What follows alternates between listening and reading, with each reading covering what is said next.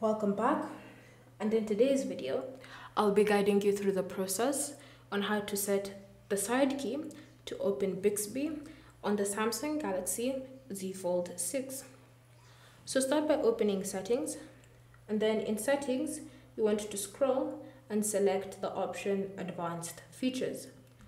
From here tap on side button then you, sh you should see the option press and hold. So you want to set press and hold to wake Bixby instead of the power off menu. Then from here, if you want to activate Bixby from the comfort of your home screen or wherever it is you are, you can just press and hold on the side button. So press and hold. And then you can see Bixby has appeared. So if you haven't yet set up Bixby, then you can continue through with the setup process. But if you already have Bixby set up and enabled on your phone, then you can now use Bixby at just by pressing and holding on the side button to activate it. Thank you for watching.